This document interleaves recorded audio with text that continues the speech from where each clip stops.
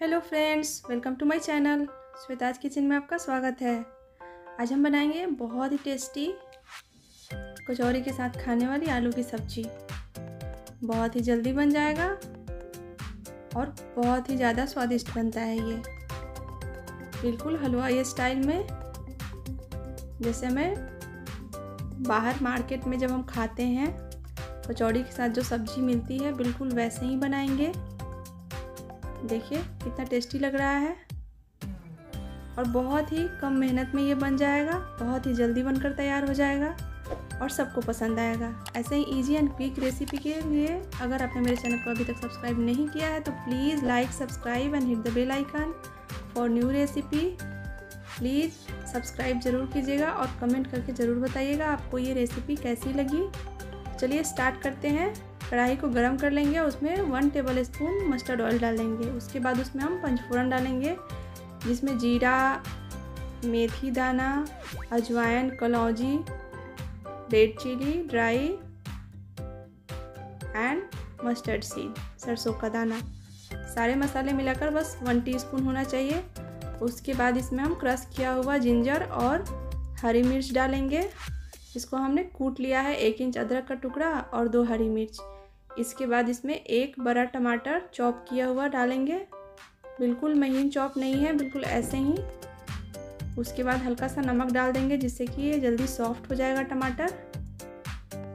अब इसको ढककर पकाएँगे।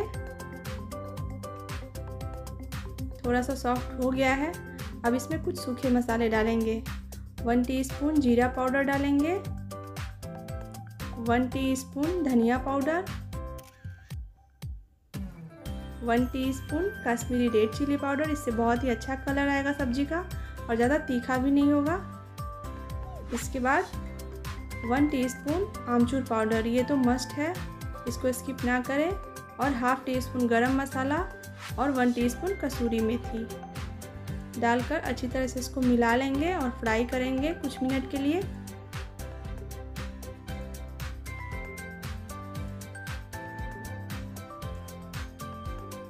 इसके बाद इसमें थोड़ा सा पानी डालेंगे और इसको ढककर पकाएँगे।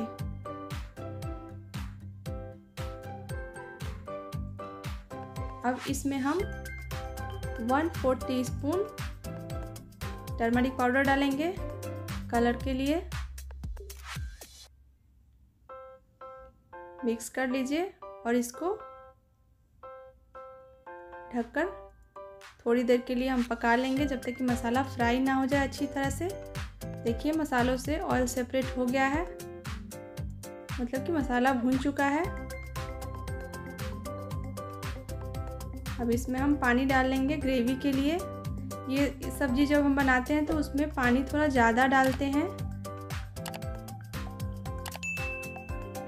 पानी डालने के बाद इसको ढक लेंगे जब तक उबाल ना आए इसमें। ये बॉयल हो गया है। एक उबाल इसमें आ गया। अब इसमें हम हाफ़ टी स्पून हींग डालेंगे। इससे बहुत ही अच्छा टेस्ट आता है और इसी स्टेज पर आप डालिए हींग को। हींग डालकर अच्छी तरह से इसको मिला लेंगे हम। और इसके बाद मैश्ड पोटैटो डालेंगे, जिसको हमने रफली हाथ से ऐसे ही तोड़ लिया है। कुछ छोटा, कुछ बड़ा, ऐसे ही आप इसमें आलू डालें। ये उबला हुआ आलू है, ठंडा है। आलू डालकर इसको हम अच्छी तरह से मिला लेंगे ग्रेवी के साथ।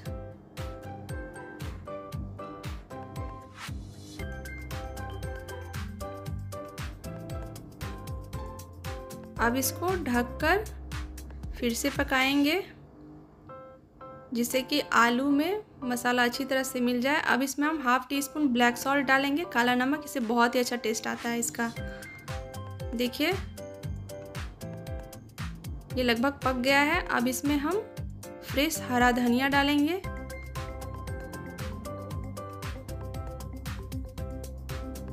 धनिया डालने के बाद बस कुछ एक मिनट के लिए इसको ढक देंगे लो फ्लेम पर।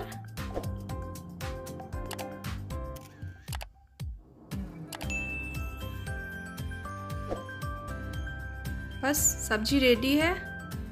ये सब्ज़ी बनाइए और कचौड़ी बनाइए, बहुत ही टेस्टी लगता है। और बहुत ही जल्दी बन जाता है। कुछ भी पीसने की ज़रूरत नहीं है। आराम से आप इसे बना सकते हैं। संडे के दिन तो ज़रूर इसको ट्राई कीजिए। देखिए कितना टेस्टी लग रहा है और खाने में भी उतना ही टेस्टी लगता है। देखिए इसके साथ कचौरी ज़रूर बनाइए। बहुत ही ज़्यादा अच्छा लगेगा। और इसे आप बार बार ज़रूर बनाएँगे, एक बार बनाएँगे तो। ऐसे ही इजी एंड क्विक रेसिपी के लिए प्लीज़ मेरे चैनल को सब्सक्राइब कर लीजिए। Please like subscribe and hit the bell icon for new recipe and please comment करके ज़रूर बताइएगा आपको रेसिपी कैसी लगी।